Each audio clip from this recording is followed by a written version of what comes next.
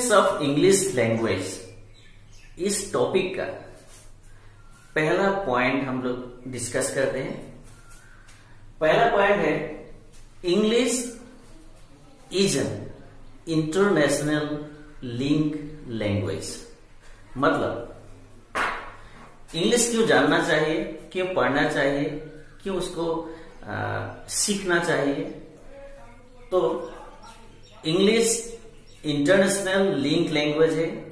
Link का मतलब होता है कि, सपोज़ पकड़िए, हम इंडिया के लोग हैं और एक दूसरे कंट्री के लोग, सपोज़ रशिया। सो, इंडिया और रशिया, ये दो दो मुल्क, दो कंट्री के अगर दो लोग कहीं मुलाकात हो, सो उनसे मीटिंग हो तो दो लैंग्वेज, दो अलग अलग लैंग्वेज वाले होते हैं। तो हम लोग को बीच में एक दूसरा लैंग्वेज कम्युनिकेशन के लिए एक लैंग्वेज चाहिए।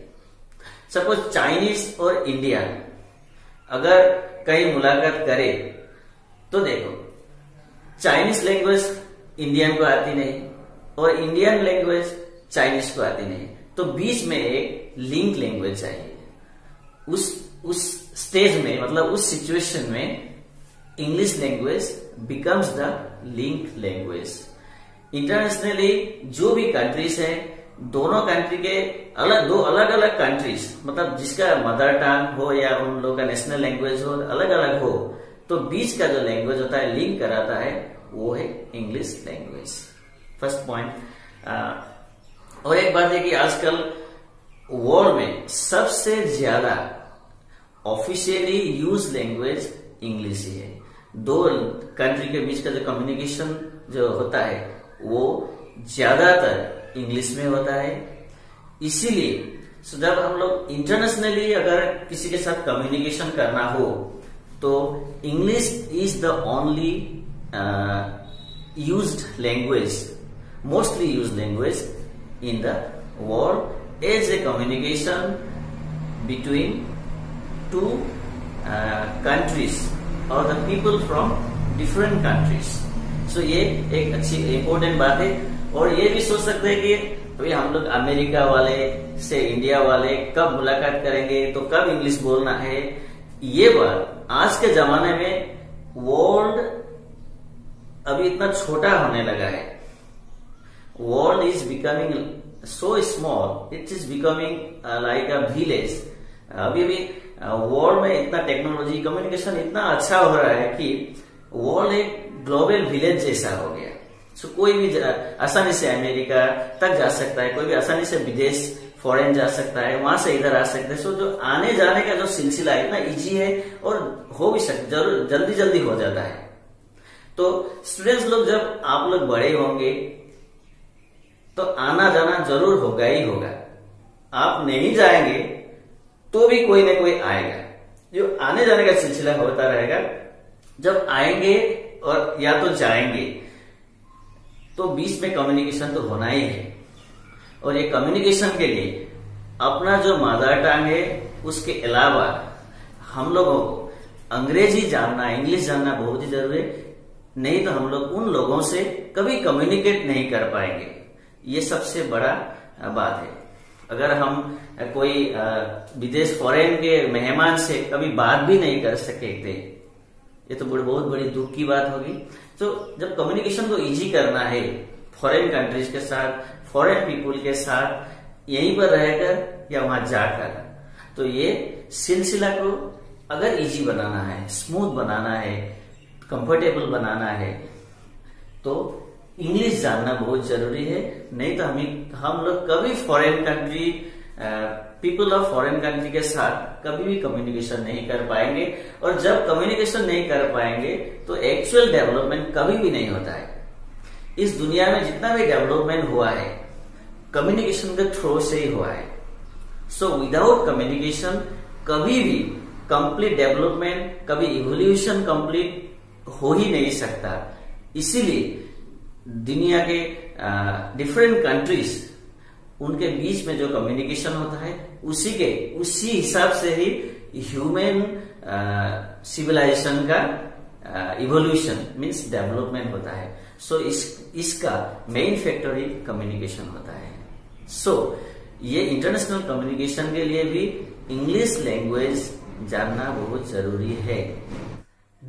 पॉइंट नंबर टू है national link language English is not only an international link language it's also a national link language अभी हमारे इंडिया के बाहर का जो बात हम लोग पॉइंट नंबर वन में डिस्कस कर लिए, अभी इंडिया के अंदर, हमारे देश के अंदर में भी बहुत ऐसे स्टेट्स हैं जहाँ पर हिंदी जो हमारे राष्ट्रभाषा है, हिंदी वो उस स्टेट्स में ज़्यादा यूज़ नहीं होता है। देखिए, हमारे नॉर्थ इंडिया में ज़्यादातर हिंदी यूज़ होता है, लेकिन आप जब साउथ इंडिया में जाते हो साउथ इंडिया में देखो तमिलनाडु, आंध्र प्रदेश, तेलंगाना, केरला, कर्नाटक, ये ज़्यादातर जो स्टेट्स हैं, उनमें इंग्लिश लैंग्वेज को ही इम्पोर्टेंस दिया जाता है ना कि हिंदी को। सो so, इंडिया में ज़्यादातर हिंदी यूज़ होता है लेकिन साउथ इंडिया में और कहीं कहीं नॉर्थ नॉर्थ ईस्ट इंडिया में भी हिंदी हिंदी को ज़्यादा इंपोर्टेंस दिया नहीं जाता है इंग्लिश को ही ज़्यादा इंपोर्टेंस दिया जाता है। तो आप कभी अगर साउथ इंडिया में जाते हो घूमने के लिए। सपोज़ आप चेन्नई में जा रहे हो। तो चेन्नई में जाने के वक्त आप वहाँ दो चार दिन ठहरे। तो वहाँ जो कम्युनिकेशन करना पड़ता है, वहाँ के लोगों के साथ, वो कम्युनिकेशन आपका लैंग्वेज तमिलनाडु में नहीं चलेगा। आप हिंदी बोलोगे तो वो लोग जवाब नहीं देंगे, वो लोग हिंदी बोलते ही नहीं है। तो आप तमिल भी जानते नहीं और वो लोग भी हमारे लैंग्वेज जानते नहीं हमारे मदर टंग को उन्हें भी पता नहीं तो कम्युनिकेशन किससे करना है? तो इंग्लिश से करना पड़ेगा।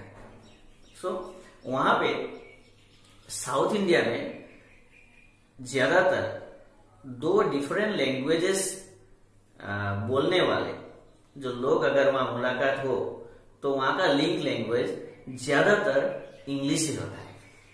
जैसे नॉर्थ इंडिया में दो लोगों के बीच का जो लिंक लैंग्वेज होता है, ज़्यादातर हिंदी होता है। दिल्ली साइड में आप जाओ तो लिंक लैंग्वेज ज़्यादातर हिंदी होता है। लेकिन चेन्नई में आप जब जाओ तो ज़्यादातर लिंक लैंग्वेज इंग्लिश ही होता है। तो साउथ इंडिया में और कहीं कहीं नॉर्थ ईस्ट में, अगर आपको कम्युनिकेट करना पड़ेगा, अगर वो लोग इधर ही आए, आपके घर पर आए, आपके आसपास आए, आपसे कहीं मुलाकात हो गई हो तो भी आप उन लोगों के साथ इंग्लिश बोले तो वो लोग कंफर्टेबल फील करते हैं और आपका भी कम्युनिकेशन इजी हो जाता है। तो इंडिया के बाहर ही नहीं इंडिया के अंदर भी कहीं कहीं ऐसे स्टेट्स है जगह है जहाँ पर हिंदी नहीं, बल्कि अंग्रेज़ी को ज़्यादा इंपोर्टेंस दिया जाता है कम्युनिकेशन के लिए। इसमें एक हिस्ट्री भी है।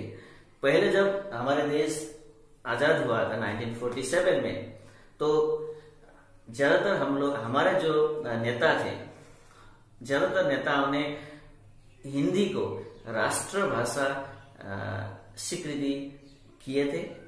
तो India accepted Hindi as a national language लेकिन उस टाइम में जो साउथ इंडिया के स्टेट्स थे साउथ इंडिया के स्टेट्स ने प्रोटेस्ट किया था कि हिंदी को राष्ट्रभाषा न बनाया जाए। साउथ इंडियन कोई लैंग्वेज यानी तमिल सपोज़ तमिल को राष्ट्रभाषा बनाया जाए। वो एक बड़ा एक बड़ा हंगामा भी हुआ था कि हिंदी को नहीं तमिल को नेशनल लैंग्वेज बनाया जाए। तो ले, लेकिन उस एक जो आ, वो कंट्रोवर्सी था उसमें लेकिन हिंदी स्पीकिंग पॉपुलेशन ज़्यादा होने की वजह से वो हिंदी एक्सेप्ट किया गया था। लेकिन उसके बाद भी साउथ इंडियन स्टेट्स ने खूब प्रोटेस्ट करने प्रोटेस्ट करने लगे। उसके बाद 1962 में गवर्नमेंट ने एक रिजोल्यूशन ले लिया। मतलब वो अभी कॉन्स्टिट्यूशनली एक्सेप्टेड है कि 1962 में English has been accepted associate official language of uh, Indian national. So Bharat का जो official language number one Hindi है तो उसके साथ सेकेंड ऑफिशियल लैंग्वेज इंग्लिश को भी ले लिया था 1962 से क्योंकि वो साउथ इंडियन स्टेट से इसके बारे में बहुत ज़्यादा ही प्रोटेस्ट थे तो वो लोग उसके बाद ही साउथ इंडियन स्टेट शांत हो गए थे।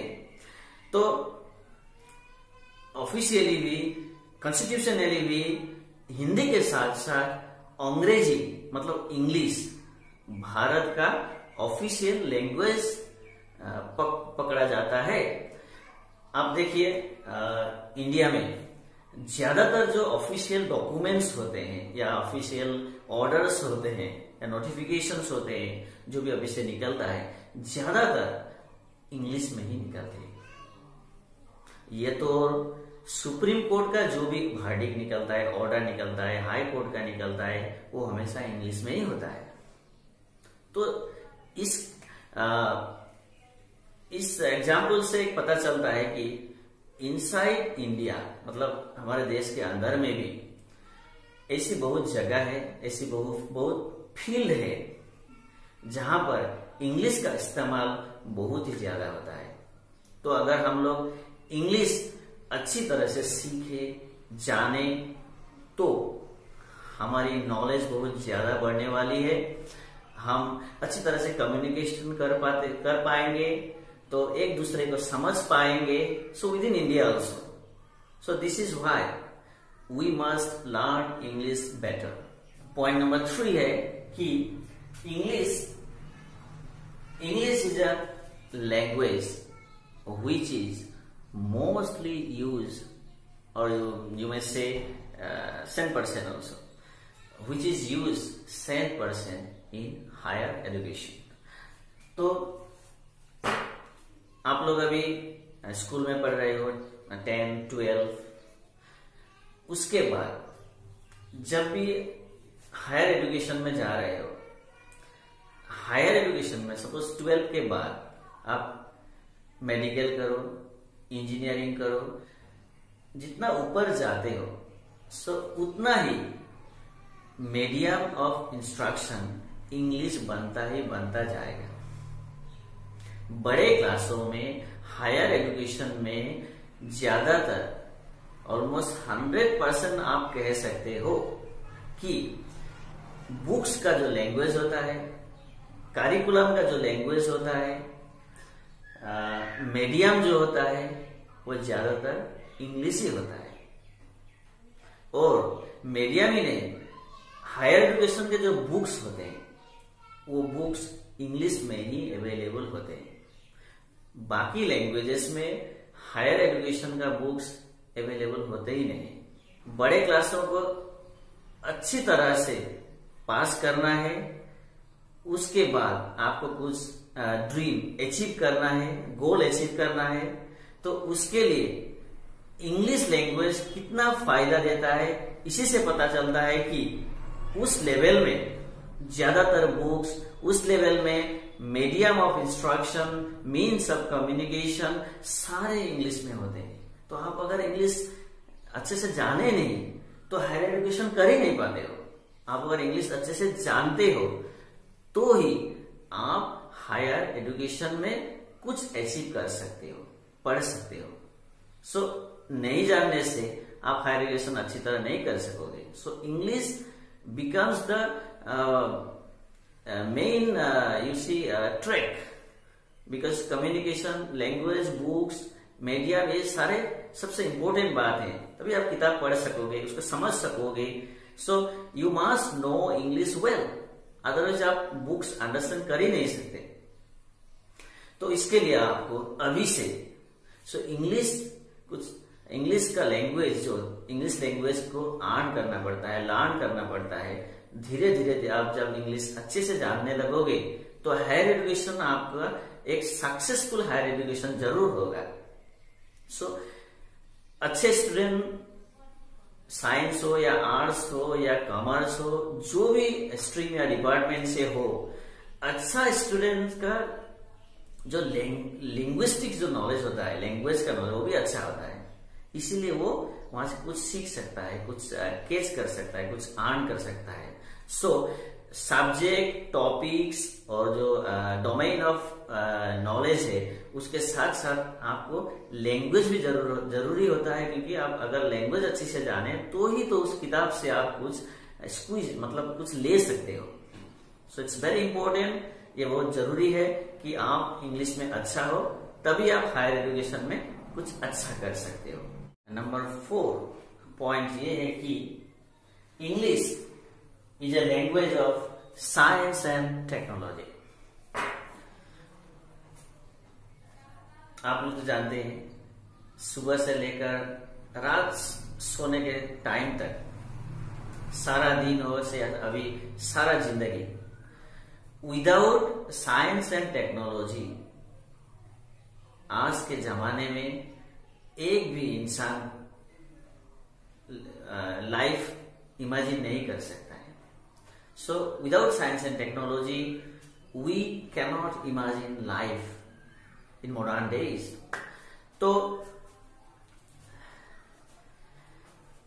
साइंस एंड टेक्नोलॉजी एक एग्ज़ाम्पल लेते हैं। सपोज़ एक computer so computer without computer जो कंप्यूटर का जो सॉफ्टवेयर होता है, जो डिफरेंट फ़ंक्शंस होते हैं, वो मोबाइल में भी मिल जाते हैं। ज़्यादातर आजकल कंप्यूटर, मोबाइल, लैपटॉप, ये सारे चीज़ ज़्यादातर एक जैसे हो गए सो कंप्यूटर बिना और मोबाइल के बिना, लैपटॉप के बिना हमारी जीवन कल्पना भी नहीं कर सकते हैं हम लोग अब। So English he main language and main means of communication है साइंस एंड टेक्नोलॉजी का। तो इससे एक पिक्चर क्लियर होता है कि without science and technology we can not imagine life and without the knowledge of English language we can not explore the science and technology fully last but not the least point कि English language का जो importance है, एक students के career में, एक students ही नहीं, एक इंसान के करियर में, वो है कि आप लोग जो पढ़ाई कर रहे हो, पढ़ाई जो कर रहे हो, उसका दो ऑब्जेक्टिव्स होता है। एक, आप जो पढ़ रहे हो, उसका एक ऑब्जेक्टिव ये है कि आपको कुछ नॉलेज हासिल करना है, आपको आपको वाइज बनना है विजडम लेना है। वो पहला ऑब्जेक्टिव होता है एजुकेशन का। The first objective is to acquire knowledge from education पहला ऑब्जेक्टिव मतलब इंसान को नॉलेज यानी विजडम यानी सिविलाइज बनना है थ्रू एजुकेशन वो हमेशा पहला एग्जेक्टिव ऑब्जेक्टिव होता है। सेकेंड ऑब्जेक्टिव ये है, आज के जमाने में पढ़ाई करने का सेकेंड ऑब्जेक्टिव ये होता है कि आपको अपने पैरों में खड़ा होना है। आपको कुछ बनना है। आपका कुछ पहचान भी बनाना है और अपने पैर में खड़े भी होना है। यानी कुछ आपको जॉब भी चाहिए। कुछ करना है। फ्यूचर में without job you can not imagine your life so आपको कुछ करना है। वो भी एक एजुकेशन का, आज के जमाने का एक ज़रूरी हिस्सा है। तो आपको पढ़ाई के बाद आपको नौकरी चाहिए जॉब चाहिए। उस जॉब में इंग्लिश का क्या इंपॉर्टेंस होता है? आइए कुछ इसके बारे में डिस्कस करते हैं।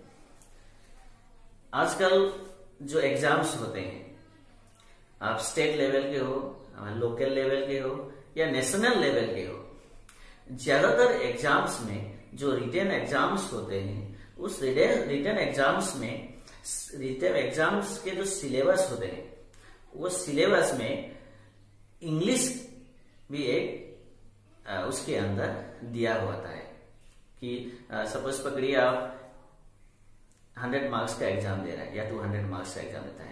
Almost twenty percent thirty percent marks English syllabus में दिया जाता है। आपका एसएससी एग्ज़ाम ही हो या अगर बड़े बड़े एग्ज़ाम हो एनडीए से लेकर सीडीएस से लेकर बड़े बड़े एग्ज़ाम सिविल सर्विस से कॉम्पिटिटिव एग्ज़ाम से लेकर छोटे एग्ज़ाम तक इंग्लिश के क्वेश्चंस